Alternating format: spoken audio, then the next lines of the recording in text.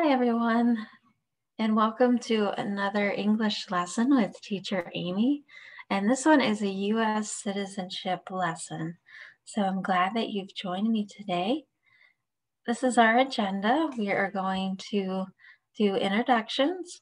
We'll talk about the citizenship test and some updates. I'll look at some resources for the citizenship test and share those with you, and then just do a short lesson about uh, two famous people in American history. Okay, so that is our plan.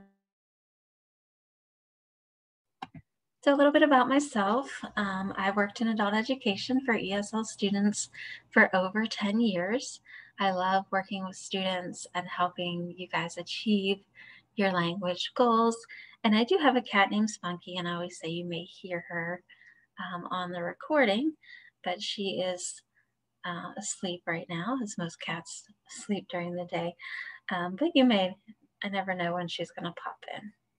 Okay, so let's get started with our lesson for today. So a little bit about the citizenship test uh, update. And it's also known as the naturalization test. And that it has two components for ESL students. So the first part, we have the civics and then an English test. The English test has not changed at all. So if you have been studying for your citizenship test, that part has not changed.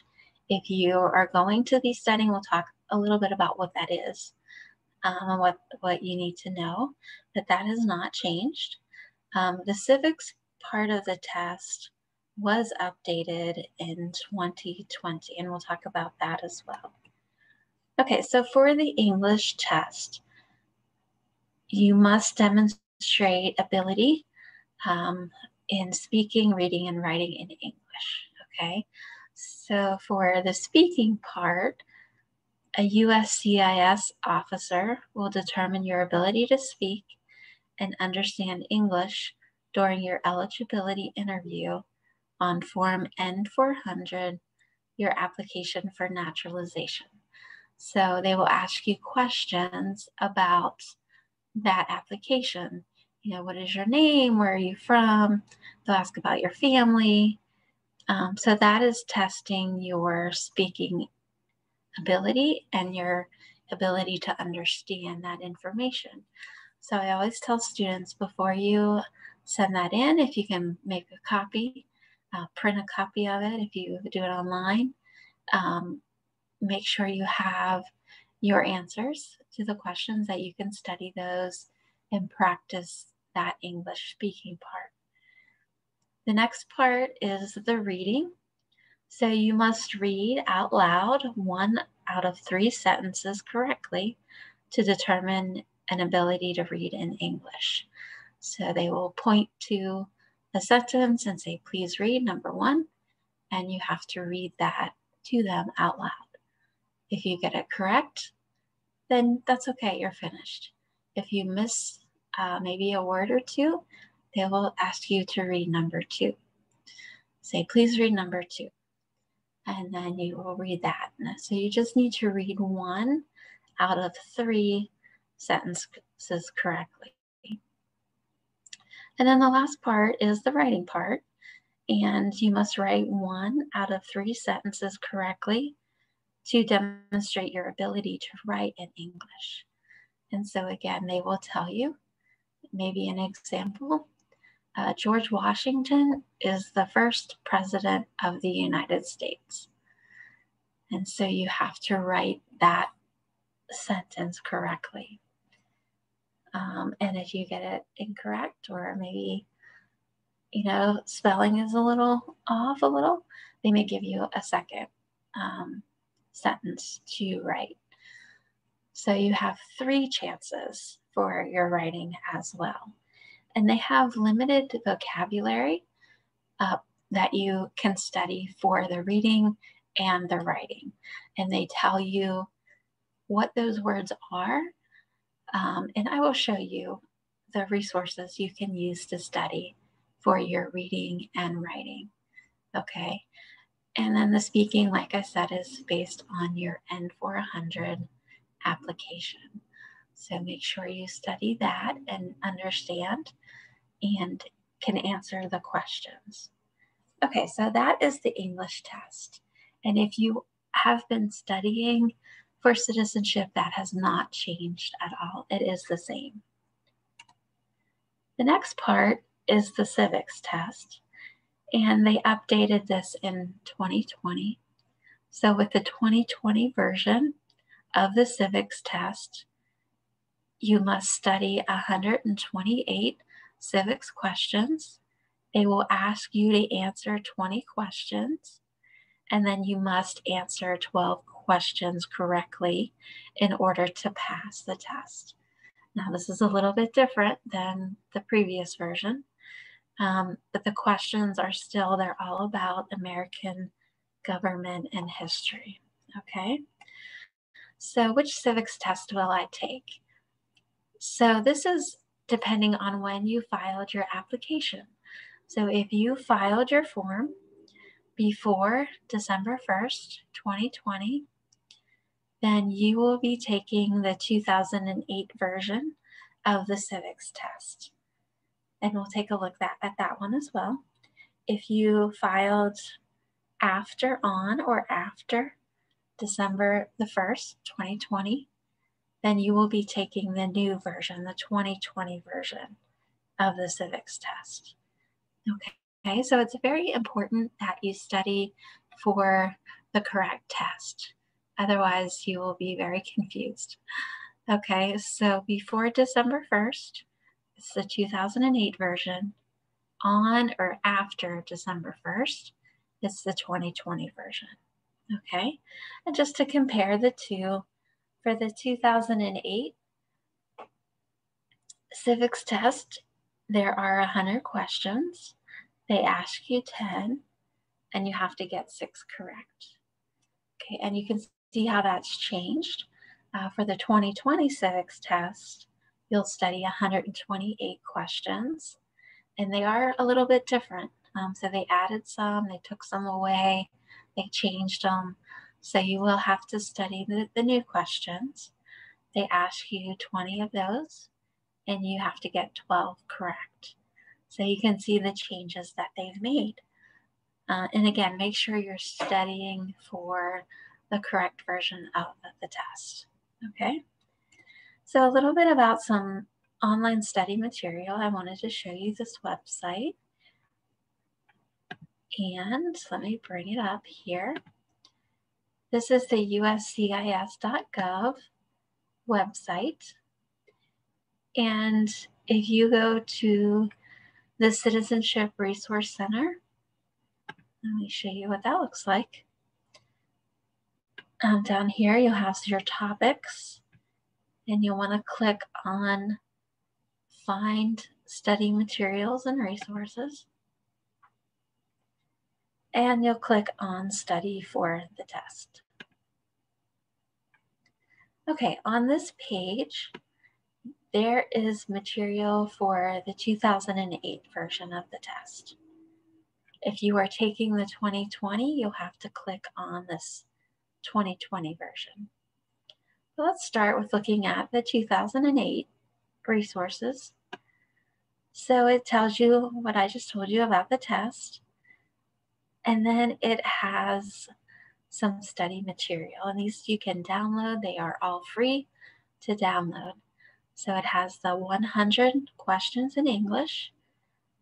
And since this test has been around for a while, they have many translations. So they have Arabic, Chinese, Korean, Spanish, um, Tagalog, and they also have some videos that you can watch.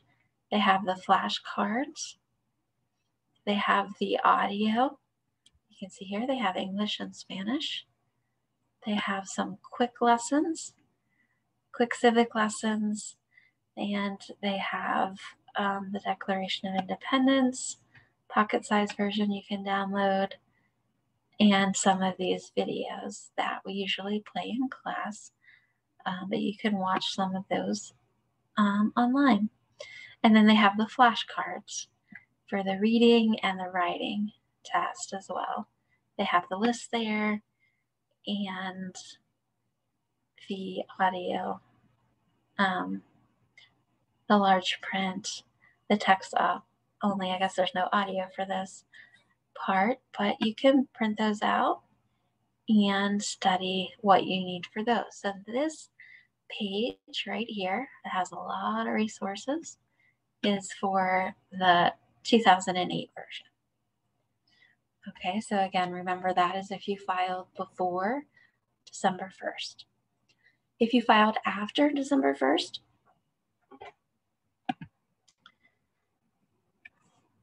you will be, excuse me, you will be studying the 2020 version of the civics test.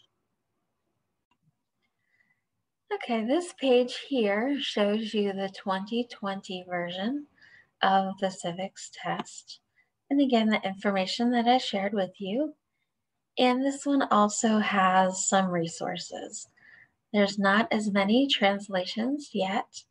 You just have English and Spanish, but you have your 128 questions and answers. And you also have your flashcards there as well. So if you click the little arrow, there's the flashcards, just the English version right now. They have the pocket study guide there that has all of the questions and answers.